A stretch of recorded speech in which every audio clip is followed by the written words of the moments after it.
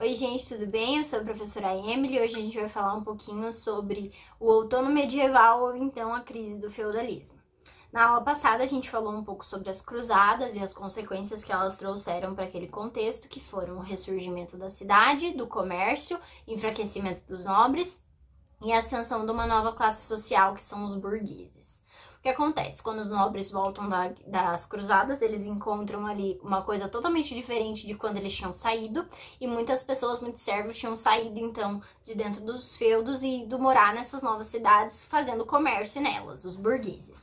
Muitas cidades nasceram em torno de castelos de alguns reis. Apesar do poder ser descentralizado nessa época, existiam ainda reis que tinham muito poder e muitas terras, então eles tinham grandes castelos que eram locais mais protegidos, vamos dizer assim.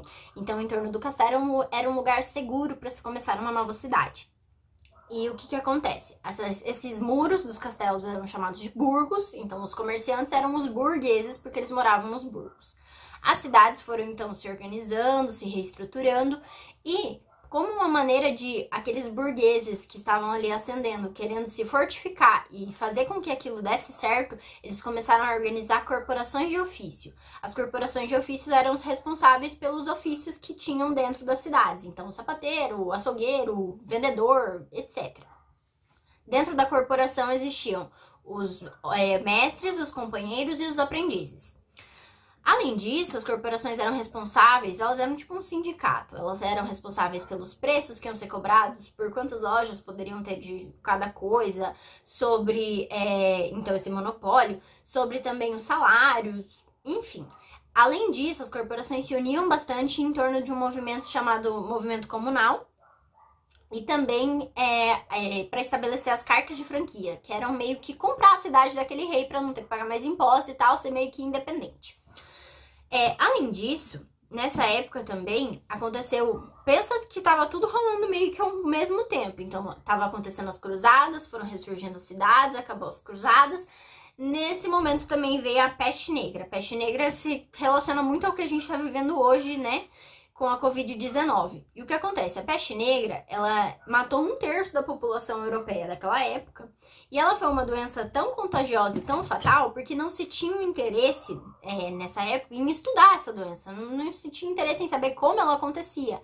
Eles nem sabiam, mas é, estudando hoje nós descobrimos então que a peste negra era causada pela pulga que picava o rato e esse rato estava presente ali na sociedade, então se contaminaram rios, se contaminava a comida e as pessoas iam se autocontaminando e isso causou uma grande tragédia. Só que o que acontece? A religião nessa época ela tinha um discurso de que as doenças aconteciam porque elas eram um castigo divino.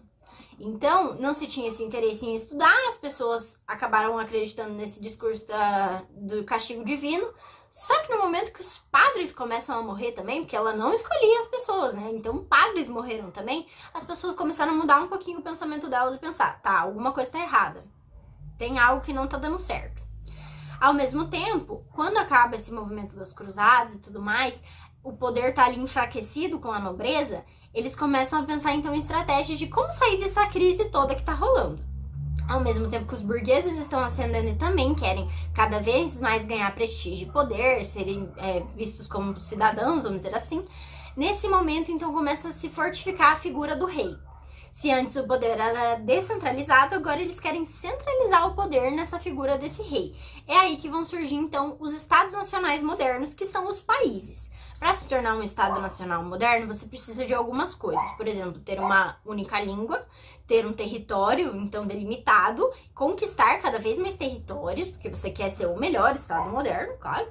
É, além disso, ter uma unificação da moeda, dos impostos. Hum, e acho que é isso, um exército que te proteja também, porque, né, você quer conquistar mais territórios, você precisa se proteger também. Com isso, vão surgir alguns conflitos entre os países que estão ali emergindo. Por exemplo, a Guerra dos 100 Anos, e também a gente tem a expulsão dos mouros, então, do território de Portugal e Espanha, que também vão gerar alguns conflitos ali.